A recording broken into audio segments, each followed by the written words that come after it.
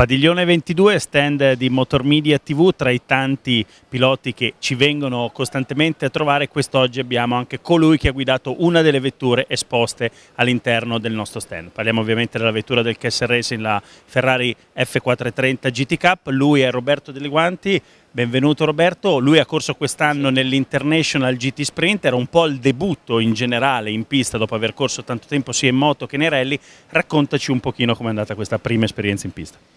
Eh, devo dire molto, molto bene, eh, grazie al fatto che comunque eh, avevo già avuto delle, delle, esperienze in pista con le moto, quindi ci sono delle similitudini in realtà, no? e quindi non, non, partivo proprio da zero, non era proprio il primo anno di gara, insomma, ecco, qualcosa qualcosa in comune con la pista comunque c'era, quindi le difficoltà che ci possono essere con queste macchine, con tutti questi cavalli, insomma,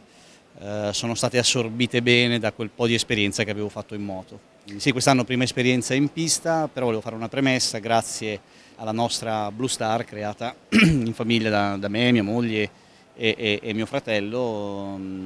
eh, prima esperienza di gestione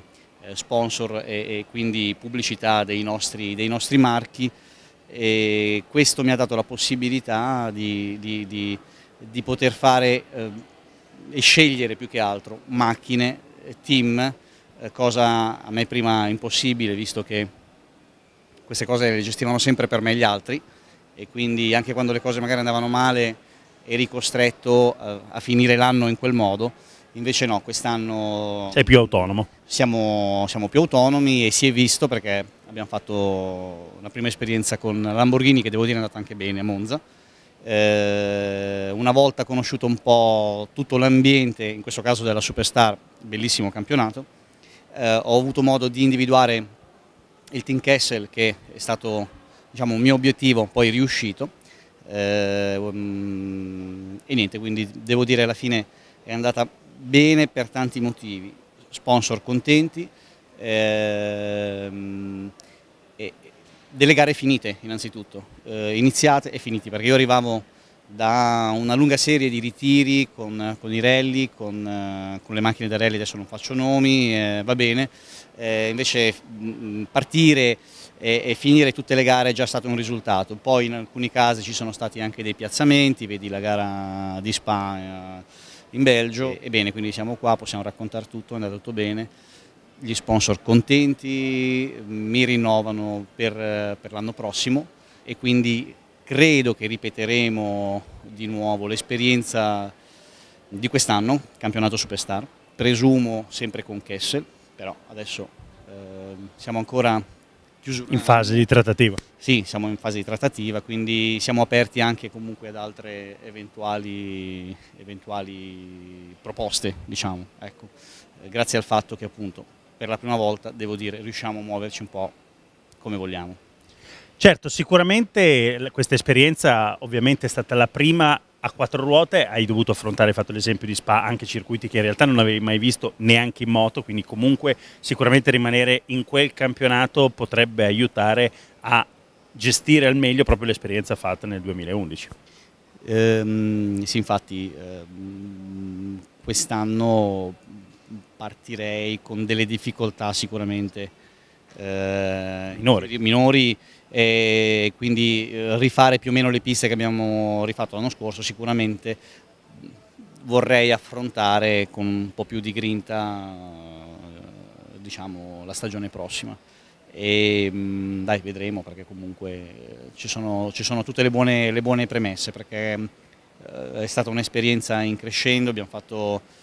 tanta esperienza, i tecnici della Kessel sono stati molto bravi, mi hanno aiutato a capire un po' come eh, gestire